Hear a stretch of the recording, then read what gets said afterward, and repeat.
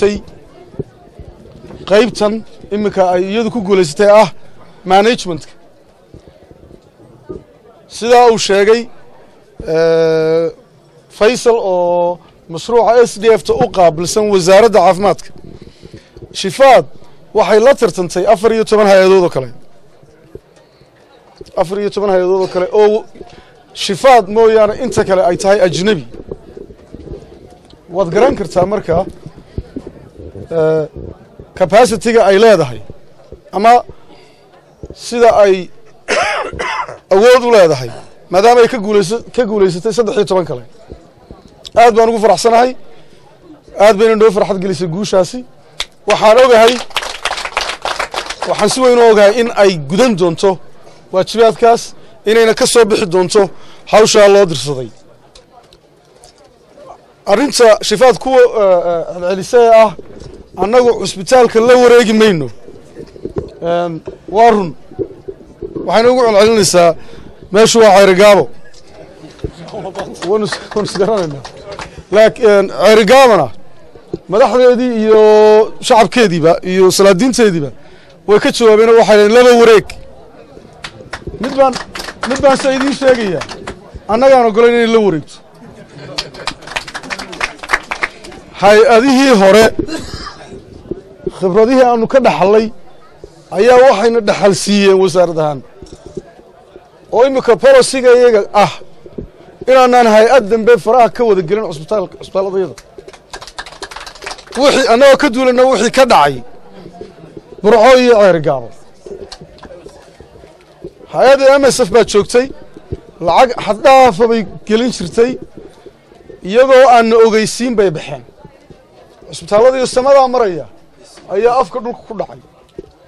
Wasaaradduna aanay qorshe kale ka lahayn. Oo wax plan la yidhaahdaba aanu ugu jirin meesha. Annagoo taas khibrad ka qaadannay kana taxadirayna in aanay hay'ad dambe sidaa noogu samayn. Ayaana noo ogolan shifaad inay la wareegto cusbitaalka si buuxda. Annagoo weliba ku kalsoon shifaad inaanay ka baxayn.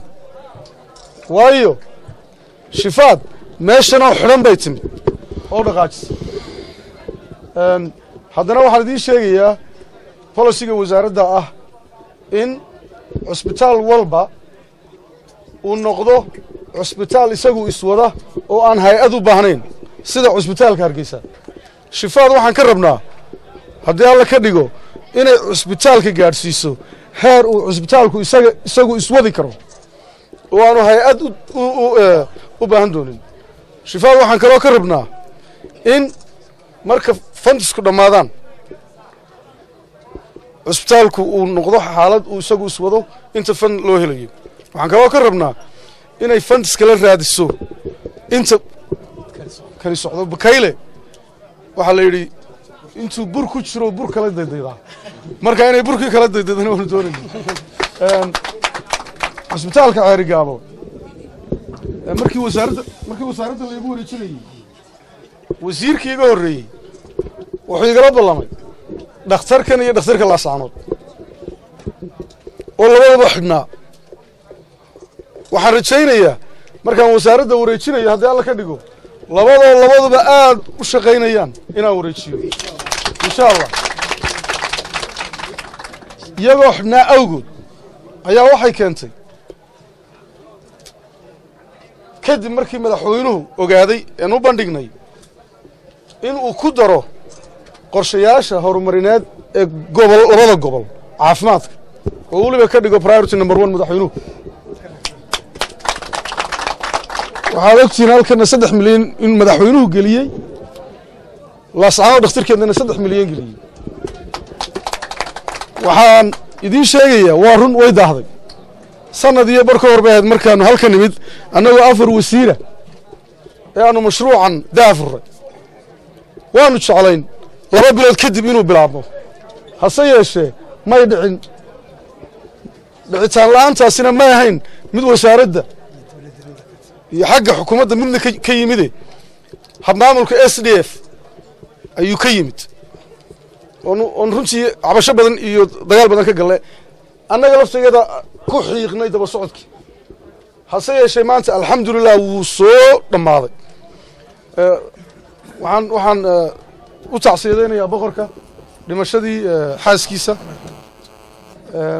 Ilaahay iyagana ha u naxariisto. Adiga iyo shaqaalaha caafimaadkana samir imaan idinka siiyo. Laakiin boqor waxaan malaynayaa geeridaa kugu timida naxdinta labaa kalandarkaagii yara khalkhalisee. Sanadii bar ka hor bay ahayd markaan waan ka nimid afar sano ma ahayne sanadii bar ka hor bay ahayd. Meeyarkana kelmad buu yidhi oo wuxuu yidhi waxaa halkan la geliyo dacwadaa dabada ku sidataa halkaa waxaa la geliyana waxba cidima sheegto. Maayar sababtu waxa weeye waa markii ugu horreysay xukuumadihii somalilan soo maray ee horumar intaa leeg la geliyo. Halkan sanaag iyo sool waxaa la geliyey lacag ilaa afar iyo toban milyan oo dollar oo s d f taas waa waxaan loo baran. Marka waa la sheeg sheegayaa waa la sheeg sheegayaa una ilaahayna u mahadnaqa.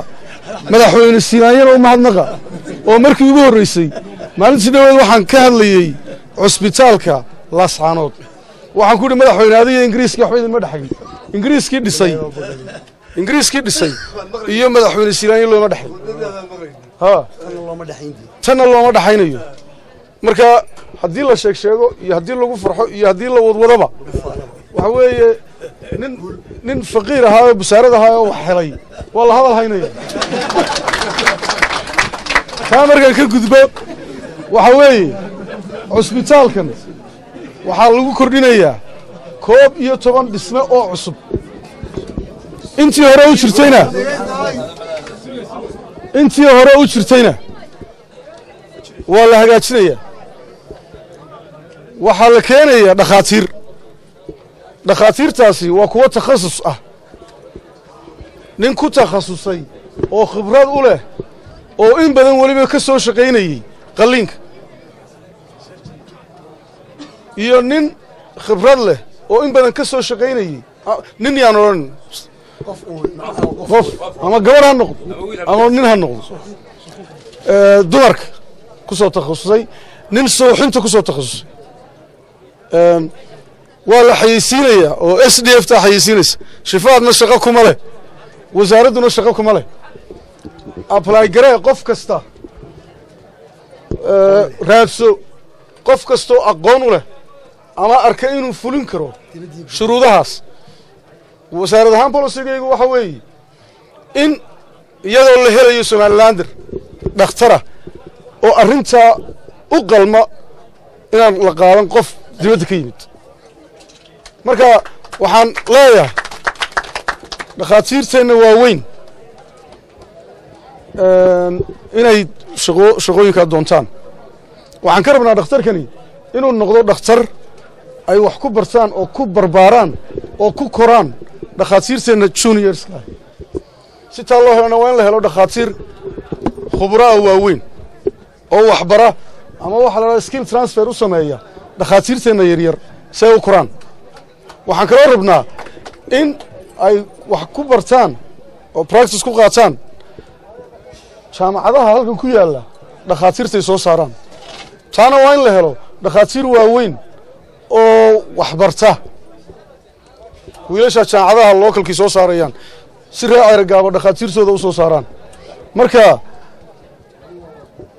waxa weeye qof allayaalo qofkii isbidaya in uu u qalmi karo ama buuxin karo shuruudaha.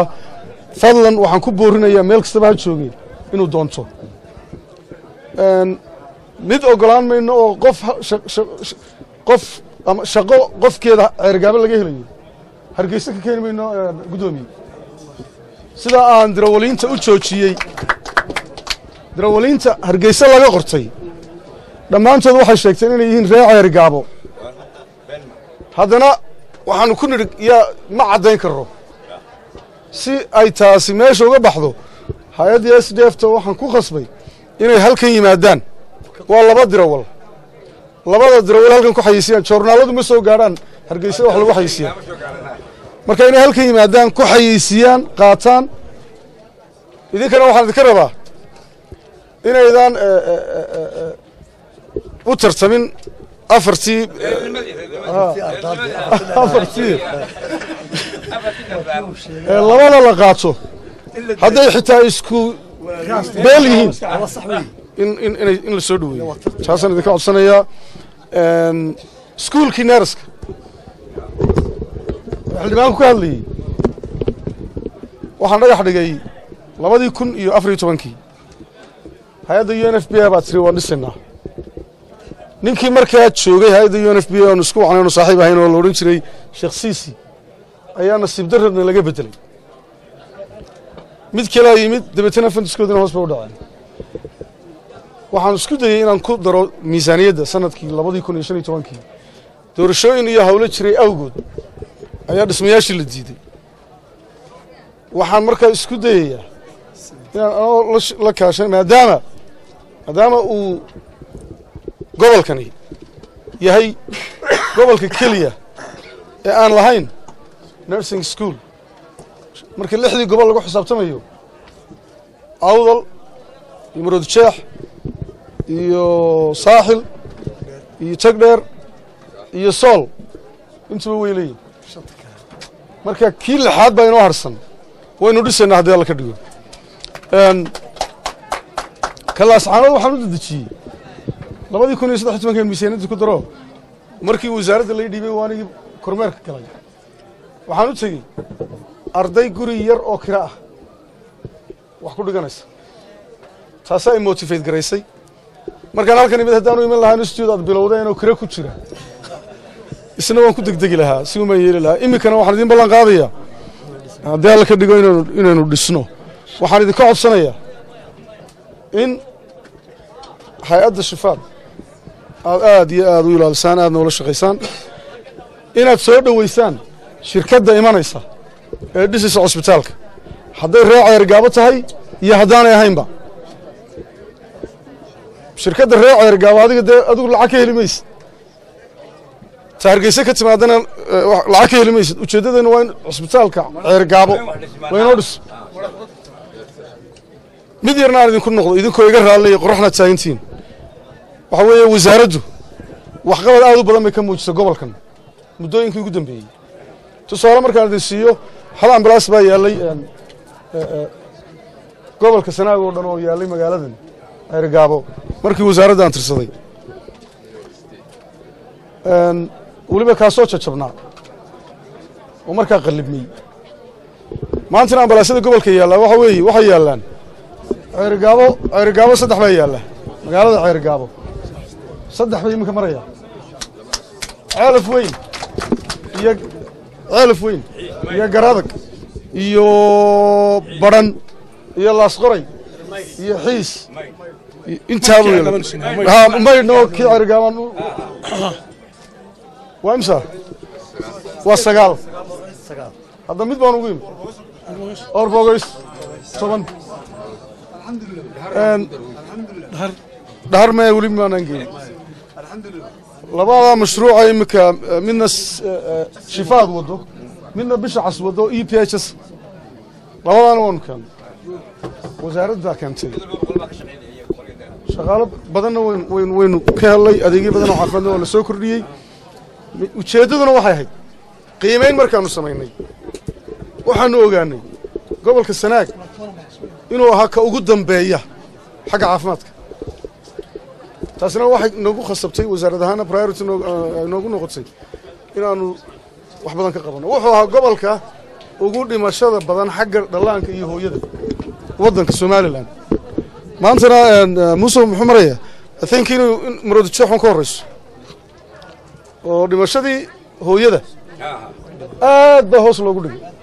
Marka ilaahay baa mahadle iyo madaxweynaha jamhuuriyadda somalilan oo arkay gobolladan inay dalka intiisa kale ka dambeeyaan go'aansadayna inuu horumariyo. Waxaa kaloo jirta sababta dhinacaasi ama reer galbeedku idinka horumaray. Waxaa weeye sidii nabadgelyada iyo amnigu dalka ugu soo kala horreeyey ayaa loo kala horumaray. Hay'aduhu ma oggolayn ilaa maantana ma oggolaa inay yimaadaan waxaa weeye sababtuna amni xumada ka jirtay labadan gobol ee sool iyo sanaag. Ilaahay mahadis maanta waxaad mooddaa inay aada u soo kabanayaan. Qasnadan s d f ta waxaa wada maamula xukuumadda iyo waddamada lacagta ku shubaa. Taasaa keentay in xukuumaddu ay go'aansato in lacagta intaa la geliyo hadda labadan gobol waxaan filaya oo rajaynaya haddii alla ka dhigo in inay sii socon doonto mashaariicda labadan gobol la geliyo. Marka aad iyo aad baad umahadsan tihiin wakti qacdeed baad taagan tihiin waan idin salaamayaa.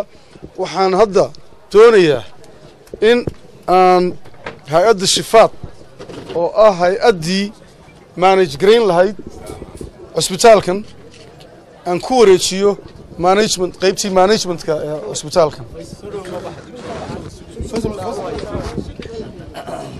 faysal baraare shifaad shifaad waxaan ka filayaa in waajibkeeda gudato cusbitaalkan ay ka dhigto mid dhaxalgala oo wanaagsan